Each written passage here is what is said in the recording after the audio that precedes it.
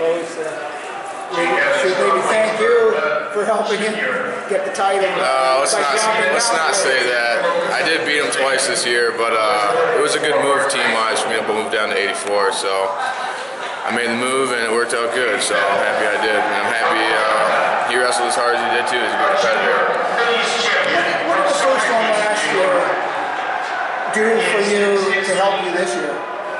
Uh, it it really, uh, it just made me see what I had to do, just as far as preparation and stuff. That helped a lot. Uh, knowing how I had to prepare, how I had to feel, how I had to get my body, how I had to diet, all that stuff. It was kind of a good test run, uh, I guess you could say.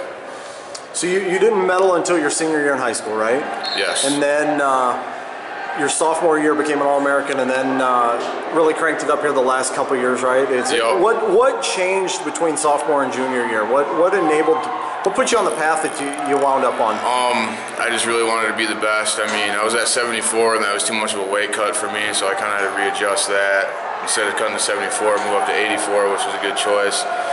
And uh, Ben Askren giving me the opportunity to coach for him, that really brought my level up a lot. Just uh, having to coach, you know, is really going to make you master your skills a lot better. And uh, besides that, just countless hours of work and everything along my coaches. And what it took. How did coaching enable you to see things different as a competitor? Um, I mean, when you're coaching a technique, you don't want to show anything wrong to the kids, so you have, really have to be on your uh, on your stuff. So just showing everything over and over at all the camps all summer really just got me good at uh, breaking things down and really finding uh, the reason why we do everything to our techniques.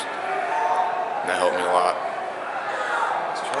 So uh, you're going to get in the cage. Is that the plan long term? That's the plan. I think I'm gonna start uh, start training tomorrow, maybe two days. Maybe take a day off, then start training, getting my hands ready. What excites you about that, and what are going to be the biggest challenges?